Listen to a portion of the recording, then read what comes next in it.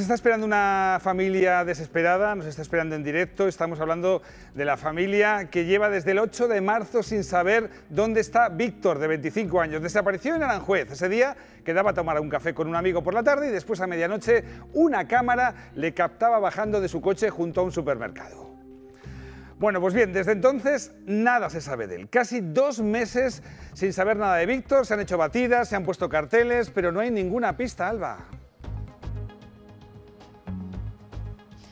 Así es, Emilio, esa cámara que están viendo, esa cámara de este supermercado de Aranjuez captaba esta imagen, la de este coche. A esa altura, a la altura de la parada de autobús, estaba estacionado Víctor esa noche del 8 de marzo en torno a las 12 menos cuarto de la noche y fue la última pista que tiene su familia. Nos encontramos con Pepe, que es su tío. Pepe, cuéntanos, ¿qué sabemos? ¿Cuál es el último paradero de Víctor? Hola, pues lo último que sabemos son las imágenes que recogen esta cámara de seguridad que aparca aquí y cruza hasta allí andando y que ahora la familia ha tenido que presentar como causa particular para que la policía pueda abrir nuevas vías de investigación y que el caso no caiga en el olvido porque además hablamos de que esta zona, si la muestra el compañero, esta zona es la zona justo de salida o entrada de Aranjuez. Entonces es una zona poco transitada a nivel de que no está dentro del pueblo, pero muy transitada porque es de salida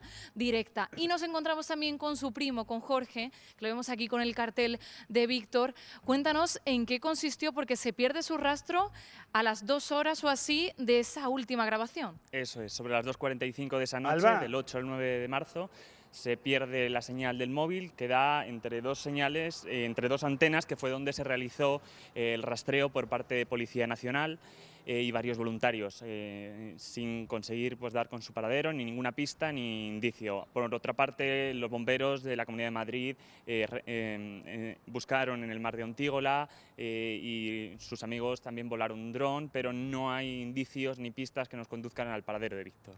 Alba, ¿por qué la, ¿por la familia... aquí también con Rubén, que es uno de sus amigos. ¿Por qué la familia está convencida de que no es una desaparición voluntaria? No tenía ningún problema Víctor.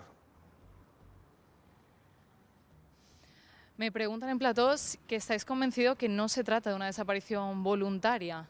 Realmente todas las, todas las hipótesis eh, están abiertas. Eh, realmente no tenemos indicios ni pistas para que la eh, policía pueda seguir investigando. Nosotros, nuestra, nuestro objetivo con esto es intentar llegar a todos los puntos posibles, que se siga investigando este caso de desaparición de Víctor Tapiador y, y, pues ayudar en todo lo posible. ¿no? Es un chico que tenía, trabajaba como integrador social, no tenía ningún tipo de problema aparentemente como para voluntariamente haberse ido. Bueno, pues ahí está la imagen de uno de Víctor. Cualquier pista ojalá pueda ayudar a esta familia a encontrarle.